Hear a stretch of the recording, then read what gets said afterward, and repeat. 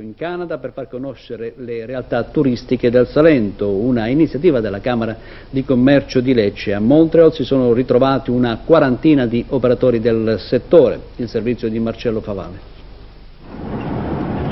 Nonostante le vicissitudini che vive il Nord America in questo momento, quel mercato continua ad essere punto di riferimento per i prodotti salentini. La Camera di Commercio di Lecce, nell'ambito del programma comunitario Interreg 2, ha organizzato nuovamente in Canada, questa volta a Montreal, dopo Toronto, una manifestazione espositiva e promozionale che ha visto una trentina di operatori dei settori agroalimentare, artigiano e turistico incontrare operatori e importatori canadesi particolarmente attenti ai prodotti salentini che si erano già guadagnati uno spazio commerciale interessante nella precedente precedente iniziativa di Toronto e non solo tra gli esponenti della comunità italo-canadese che è particolarmente numerosa e diffusa nei centri più importanti di quel paese. I risultati anche questa volta, pur nelle condizioni obiettive di difficoltà dovute alla situazione internazionale, sembrano incoraggianti, almeno secondo Sergio Doria, Presidente della Camera di Commercio di Lecce.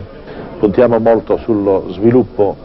turistico che possono avere i due paesi e infatti abbiamo promosso un incontro con il Ministro del Turismo del Quebec proprio per eh, cercare di eh, utilizzare eh, questo accordo ai fini di una utilizzazione migliore di alcune strutture che noi abbiamo sul territorio. Il settore agroalimentare invece è quello su cui forse abbiamo le maggiori speranze ma anche la necessità di accompagnarli perché la qualità e la bontà dei nostri prodotti è riconosciuta